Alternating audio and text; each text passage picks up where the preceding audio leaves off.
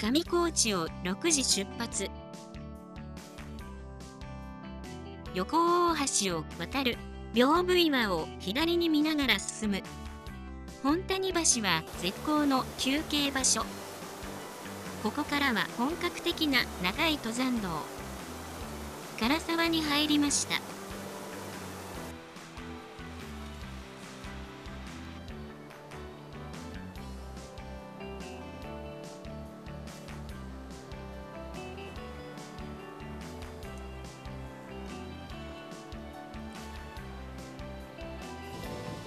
7時間かかった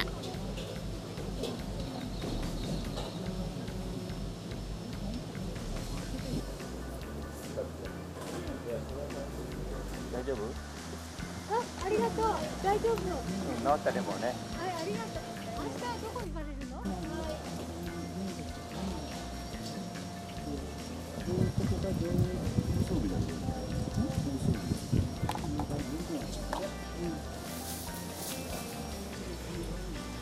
奥穂高が小屋に覆いかぶさっています。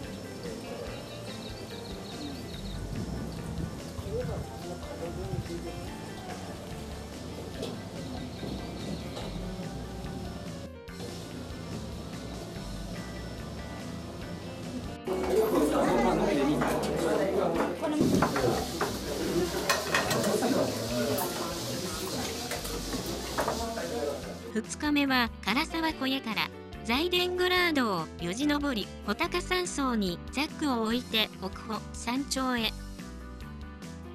小屋の脇から登山開始。降りてくるパーティーもあります。これからザイデングラードへ取り付きます。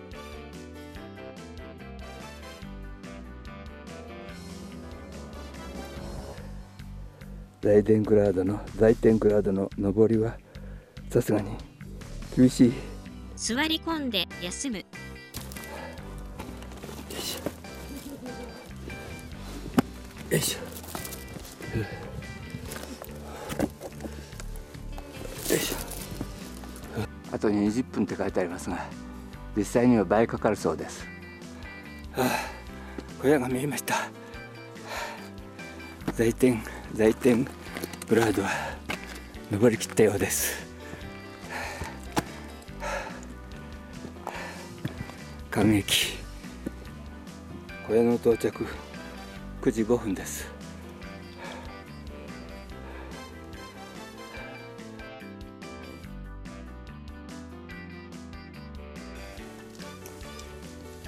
小屋のコーヒーを飲んで元気回復。50分休憩。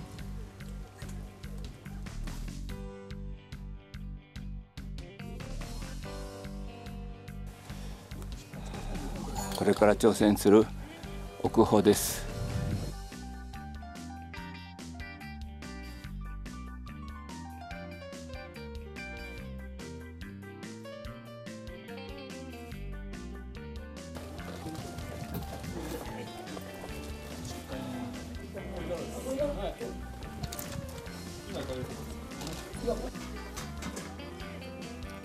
渋滞一人はですね。私も列に加わる。こんな登りだ。小屋は真下。左に槍の穂先が。山頂が見えてきました。山頂が見えてきました。まだ遠いこれからあの上に立ちます。これが山頂です。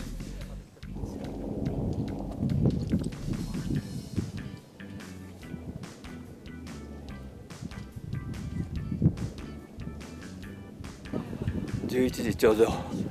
11時ちょうど。山頂です。はいやりました。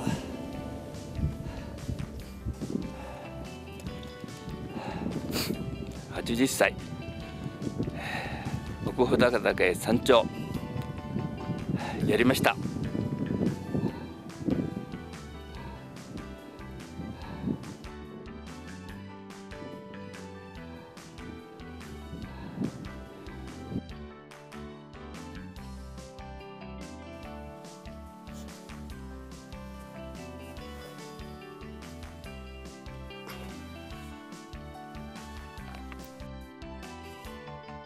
槍がだんだん姿を現してきてます。取ってあげますよ。人間が明神岳ですね。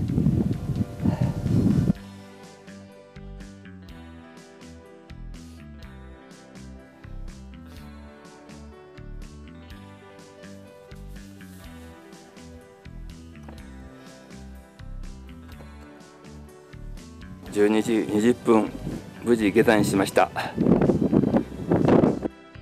窓から常念岳が覗き込みます。3日目は穂高岳山荘から上高地へ下ります。唐沢の高山植物は花盛りでした。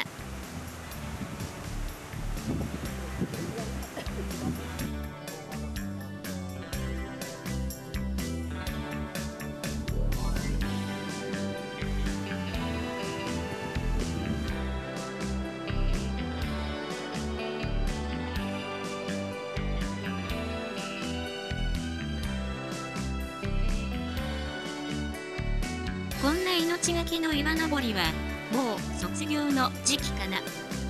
いやいやまだやれそう。2つの気持ちが交錯。私の足で8時間の長丁場でした。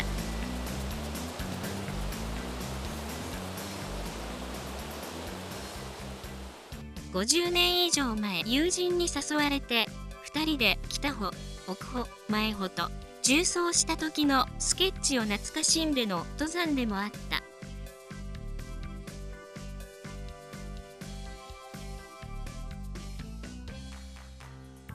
山は少しも変わっていなかった。友人 M 君はもういない。